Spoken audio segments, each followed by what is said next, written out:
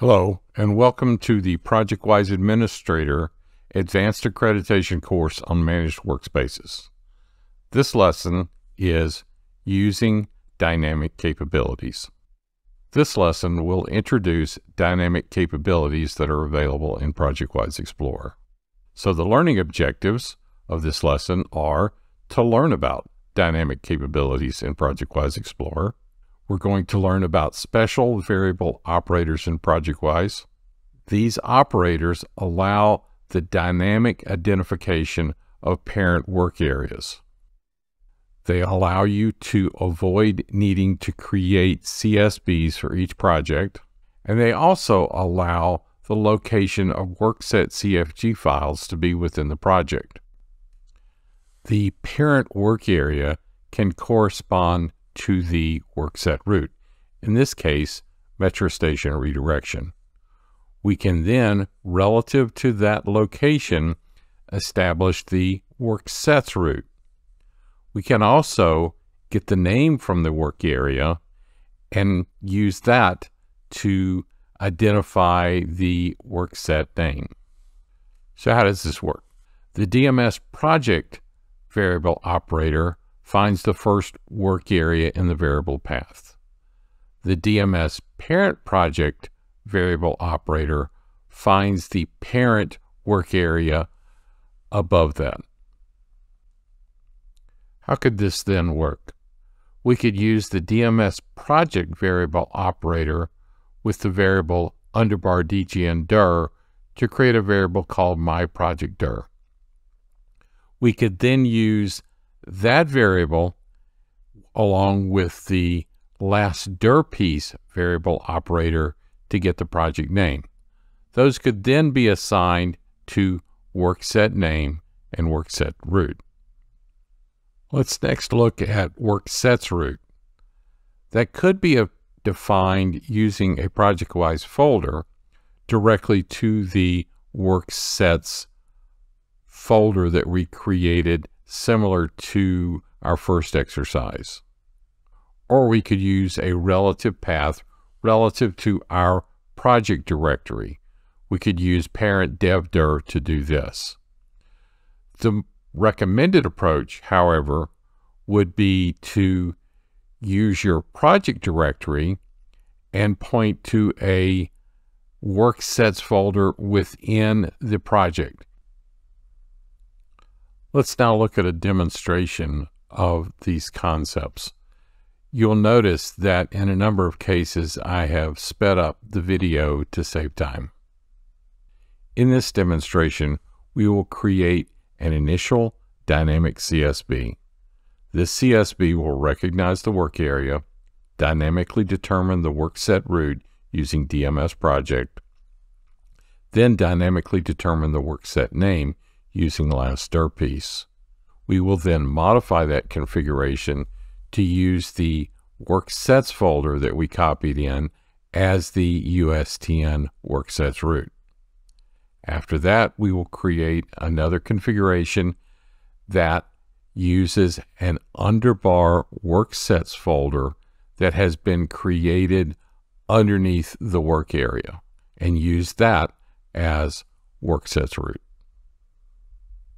Let's begin the demonstration by going to Workspaces, Managed, Predefine, and selecting our previously created minimum connect configuration.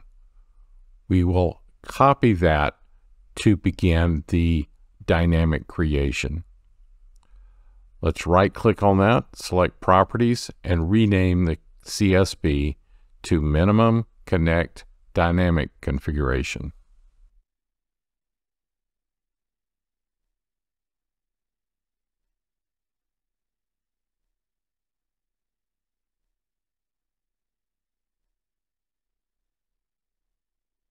Once we've done that, let's apply and click OK. The next thing we need to do is create our worksets root variable. The next thing we need to do is create a USTN workset root variable that utilizes the dynamic capability. We will click Add here, and then we will use DMS project as the variable operator here.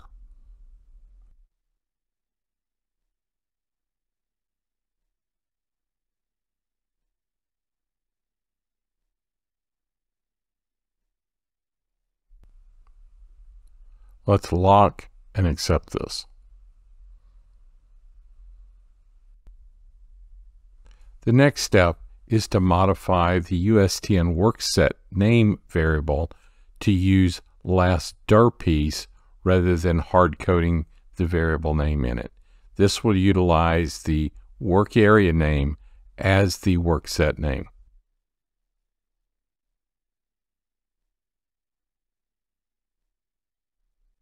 Once you have these values entered, let's click OK on both the dialog boxes.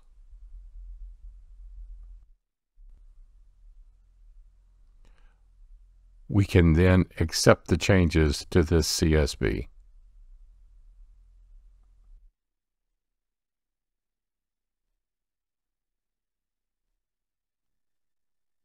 Since we have not set up the work sets root to a different location, we're going to initially utilize this in the Metro Station project within the example redirection workspace.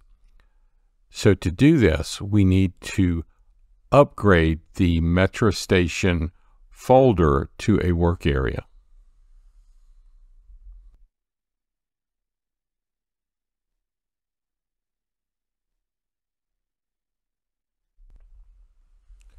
We then need to apply the new CSB to the metro station project.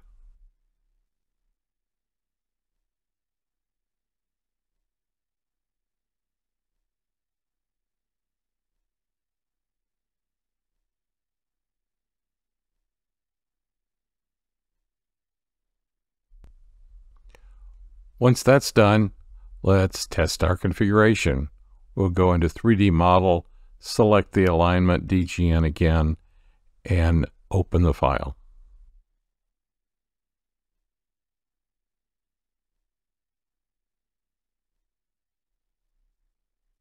As always, let's first check our active workspace and workset. To save a little time, I cut out closing and checking in the file. The next thing we want to look at is using the work sets folder that we copied into ProjectWise in lieu of the standard location in the workspace. To do this, we need to go back to ProjectWise Administrator and edit the last CSB that we created.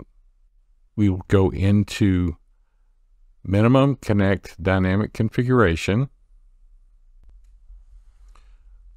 we will then create a new variable.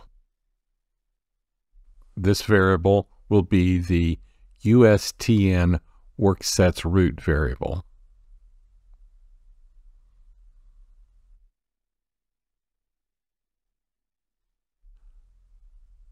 To identify this, we will use the ProjectWise folder option and browse to the work sets folder that we created.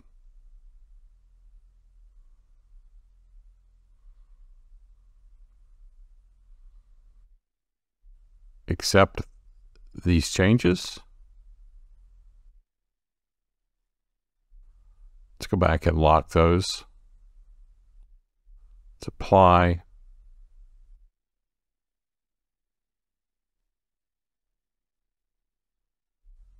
accept those.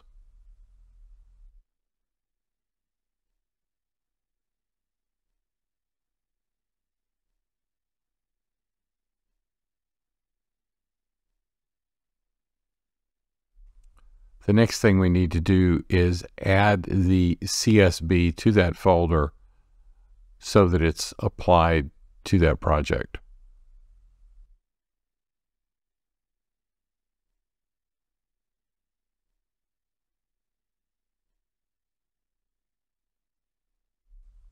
We can then go in and check our configuration.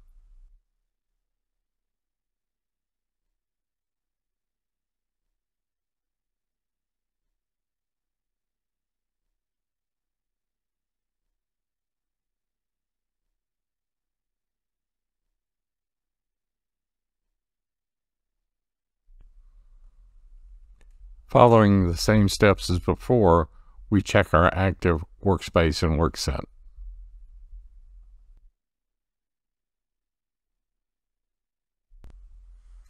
We next check our variables.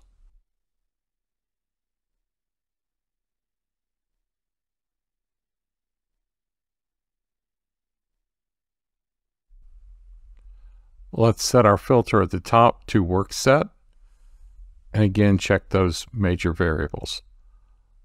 Work set name, work set root, and work sets root. Those all appear to be in order. Again, I closed and checked in the file to save a little bit of time. The next thing we want to do is copy the work sets folder into our work area.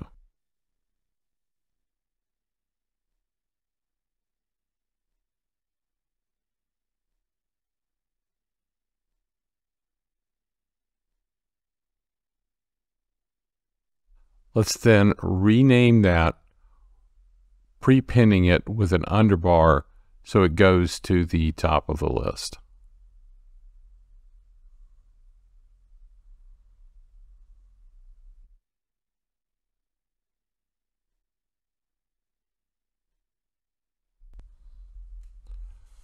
For the next part of the demonstration, let's go back to ProjectWise Administrator, copy and rename the last CSB that we created. We'll just append the name with workset.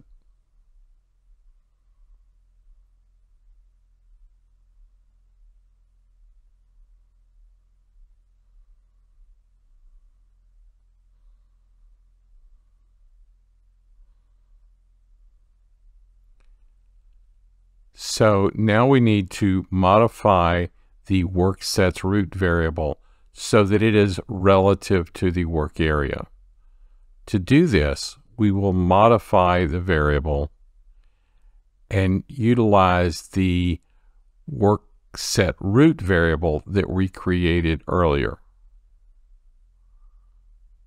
We'll type in the USTN work set root variable, then append that with underbar work sets to identify the location that we copied the files into.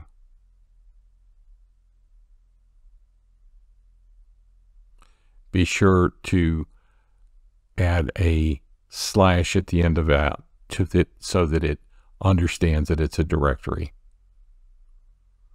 We can apply and close this.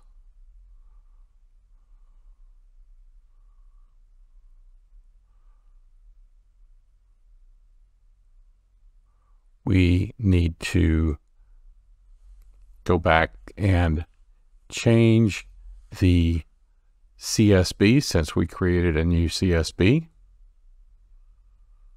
So we'll add the new CSB to this.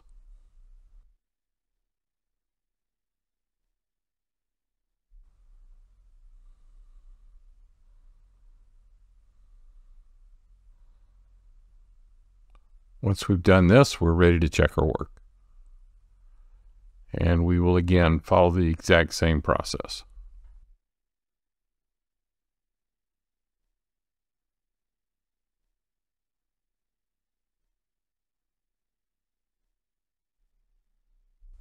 Check your active workspace and work set. Once you've confirmed that, let's check our variables again.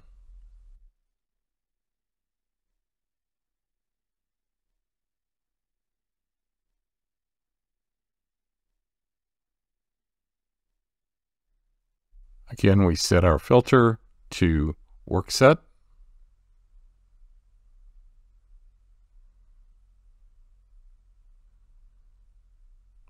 Check the root. We now see work sets is under our work set root. And our work set config is located within that location. So in this lesson, you learned how to use dynamic capabilities.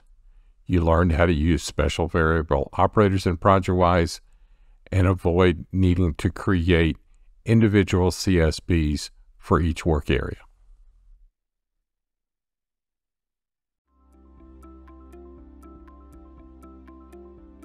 If you found this video helpful, please give it a like. If you want to see more such series, consider subscribing to our channel. Thank you and see you next time.